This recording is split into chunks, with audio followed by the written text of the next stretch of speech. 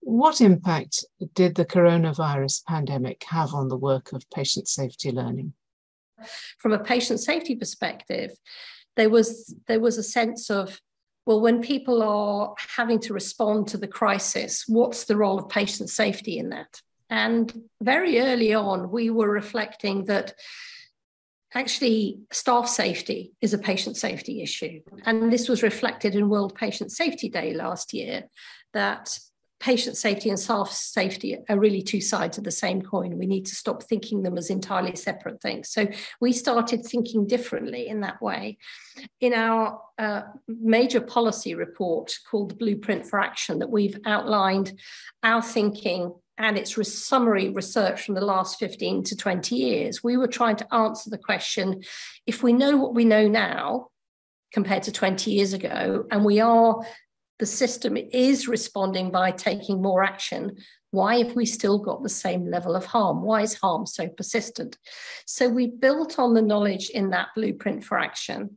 And one of the um, one of the initiatives in there that we called for was the development of patient safety standards for organizations. So if you look at an organization, an NHS trust, they will have to have a fire safety strategy which basically they have a policy framework, they have a very clear expectation of what, what uh, good looks like.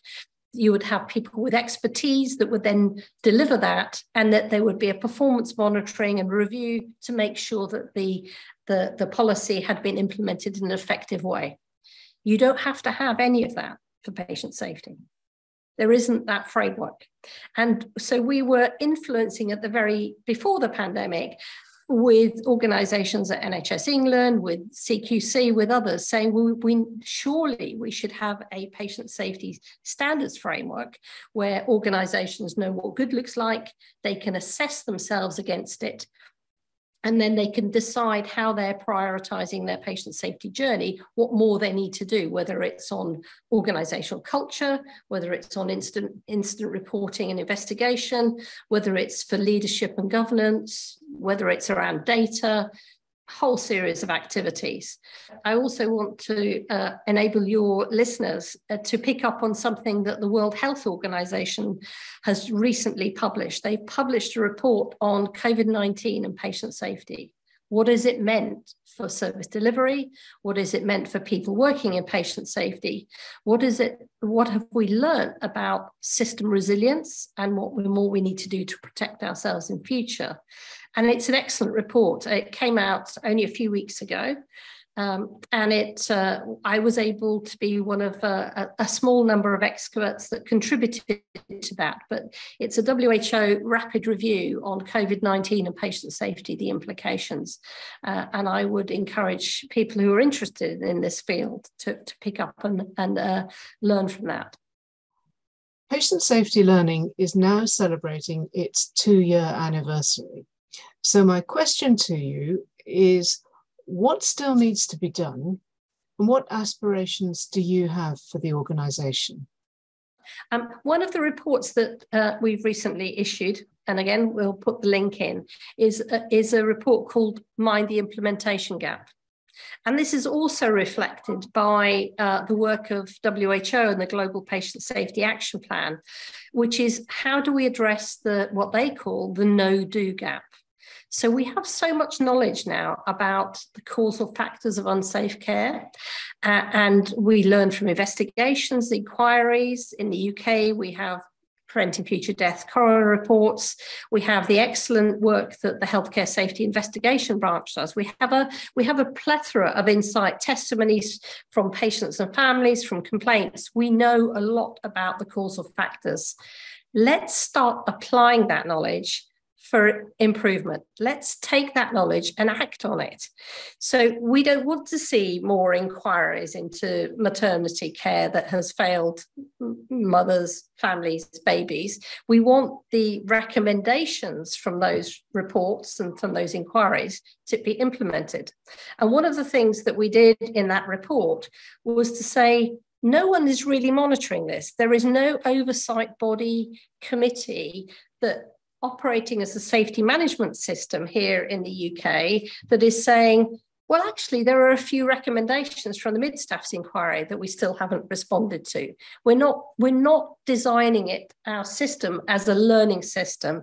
We're not acting on our insight and then evaluating what works and then sharing that knowledge. So let's turn it into a more effective learning system. That's much more of what we need to do. So part of what our role will be to to try and influence through policy, through working with parliamentarians and accountability frameworks, working with national bodies, but also working with organisations on the ground to help them assess what more they need to do and help them put plans in place to deliver that.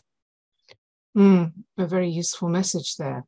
And my last question is Do you have a message as Chief Executive of Patient Safety Learning, a message for healthcare professionals?